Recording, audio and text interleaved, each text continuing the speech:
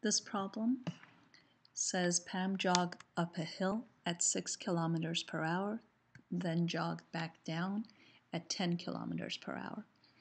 How many kilometers did she travel in all if her total jogging time was 1 hour 20 minutes?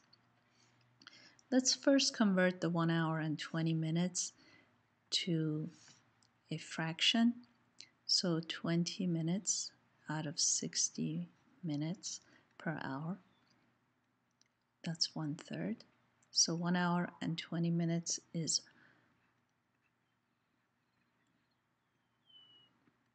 one and a third of an hour or four thirds of an hour.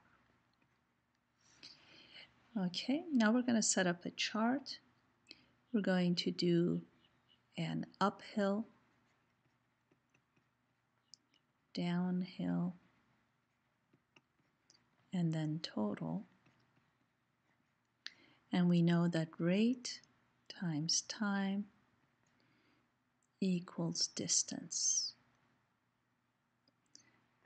So going uphill, her rate is 6 kilometers per hour. Going downhill, her rate is faster. It's 10 kilometers per hour. We know that if we know the total distance is what we are looking for, how many kilometers did she travel in all? Okay, so we're going to let this time be t. It doesn't matter which one. You can either let the uphill 1 BT or the downhill 1 BT.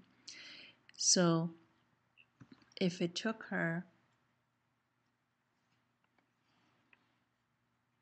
a total of four thirds of an hour, if, if it took her t hours to go downhill, then it took her four thirds minus t to go uphill. And we know that these two distances, the uphill distance, let's call it d1, and the downhill distance, let's call it d2, they're equal to each other. We know d1 is equal to d2. She went up the hill, then she came down the hill, the same distance. Okay, so we know that 6 times 4 thirds minus t has to equal to 10 times t. We're going to distribute the 6 times 4 thirds. Here, 6 times 4 thirds. You can either use your calculator or just do it this way. You can reduce this. So that's 8. So we're distributing the 6 to the parentheses here. So that's 8 minus 6t equals 10t. We add 6t to both sides.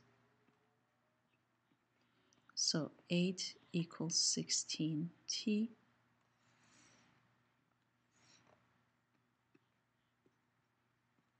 Divide both sides by 16. So t is a half. That means it took half hour to go downhill because that's what t represented for the time that it took to go downhill. So if we do 10 times a half, that's a 5.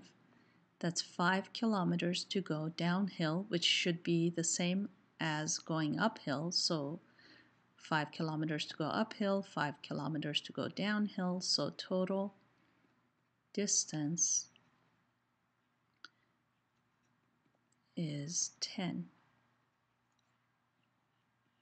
5 plus 5 or 5 times 2. So that's 10 kilometers.